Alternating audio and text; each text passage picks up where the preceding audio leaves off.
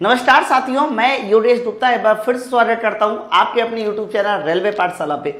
ज़रूर जैसे जैसे ग्रुप डी की परीक्षाएँ आगे बढ़ रही है ना तो एक नया ट्विस्ट देखने को मिल रहा है कि अब ग्रुप डी की परीक्षाओं में साउंड के क्वेश्चन आ रहे हैं, है ना? तो ये क्वेश्चन हमारा अभी ग्रुप डी की परीक्षा में पूछा गया सवाल है ना? इसी से मिलता जुलता सवाल और भी आ सकते हैं, इसलिए मैंने सोचा कि ये क्वेश्चन को मैं कंप्लीट आपसे सॉल्व करा दूँ। क्वेश्चन देखिए क्या लिखा हुआ है। प्रश्न ये लिखा हुआ है कि तीन सेकेंड में, ये एक न्यूमेरिकल है ना? लिखा हुआ है कि तीन सेकेंड में 1500 ध्वनि तरंगे उत्पन्न करती है। मतलब कोई स्रोत है, वो तीन सेकेंड में 1500 ध्वनि तरंगे उत्पन्न कर रही है। और ध्वनि तरंग उत्पन्न करने का मतलब होता है कि 1500 तुम्हारे ट्रीस्ट होंगे, यानी जिसको सरंड बोलते हैं, और 1500 गर्त होंगे, है ना? तो बोला जा रहा है कि यदि संपीडन और उसके बगल में जो विरलन है, संपीडन और विरलन, उनके बीच की दूरी को इन्होंने बोला है 68 सेंटीमीटर। और फिर बोला जा रहा है कि बताइए, एक तो आवृत्ति बताइए तरंग बताइए और ध्वनि का वेट बताइए। है ना? तो ये सवाल कैसे लगाया जाता है? मैं आपको बताता हूँ। सवाल था तीन सेकेंड में 1500 ध्वनि तरंग उत्पन्न कर रहा है। मेरे भाई, अगर वो तीन सेकेंड में 1500 ध्वनि तरंग उत्पन्न कर रहा है तो जल्दी बताइए, एक सेकेंड में कितनी ध्वनि तरंग उत्पन्न करेगा?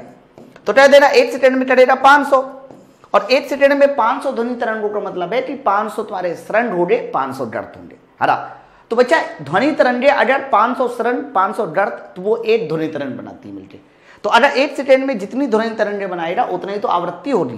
तो यहाँ से फ्रिक्वेंसी का मान पूछा जाए, फ्रिक्वेंसी कितना होगा तो सीधा सीधा आपको बताना है 500 हर्टज। ये दोबारा फ्रिक्वेंसी हो रहा ओके, अब देखो आर्य इन्होंने क्या बोला? आर्य इन्होंने ये बोला है कि संपीडन और विरलन के बीच की दूरी 68 है। अच्छा ये संपीडन और विरलन क्या होता है, मैं आपको देखो बना के दिखा देता हूँ। जैसे कि मान लीजिए मैंने इस तरीके से आपको कोई भी ध्वनि तरंग बनाई। तो संपीडन और विरलन का मतलब ये होता है कि जैसे कि मान लीजिए ये रहा वो संपीडन और ये रहा विरलन, है ना? अब ये हालाँकि संपीडन और जो विरलन है, वो हमारा ध्वनि तरंगों में होता है। लेकिन आप ऐसा मान के चलो कि मैंने सरन रोड गर्त में दिखा दिया, ठीक है? आप संपीडन विरलन को सरन रोड गर्त में दिखा रहे हो। तो मैंने कह दिया कि ये तुम्हारा सरन रोड या तुम्हारा गर्त हो गया और इनके बीच की जो डिस्टेंस है, ये डिस्टेंस को इन्होंने बोला हुआ है 68 सेंटीमीटर मेरे भाई 68 सेंटीमीटर ये सरन और गर्त के बीच की दूरी है। लेकिन ये लेमडा नहीं है।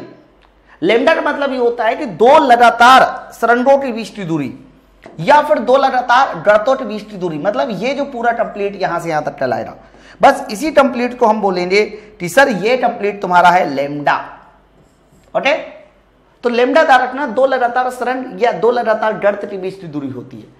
ना कि शरण और के बीच की दूरी। तो आप ऐसा कह सकते हैं कि अगर लेमडा का मुझसे मान पूछा जा रहा है तो इस अड़सठ का मुझे डबल का आना पड़ेगा। और डबल का आने का मतलब हो गया छत्तीस।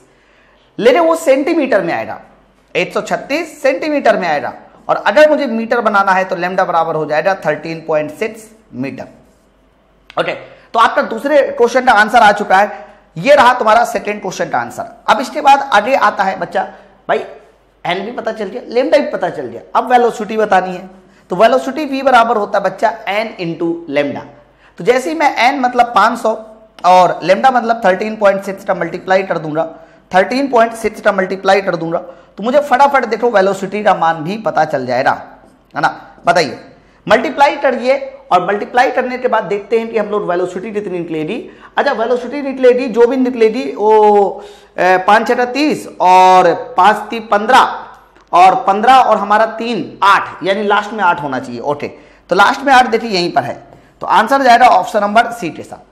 मतलब ये फाइनली आपका कह सकते हो कि वेलोसिटी आ जाएगी 680 मीटर पर सेकेंड। ओके तो अब आपके ऐसे क्वेश्चन पूछे जा रहे हैं। और ऐसे क्वेश्चन को सॉल्व करने का ये जो तरीका होता है दोस्त, ये सबसे बेस्ट होता है। हो सकता है कि इससे मिलते जुलते और भी अन्य शिफ्टों में पेपर पूछे क्वेश्चन पूछे जाए।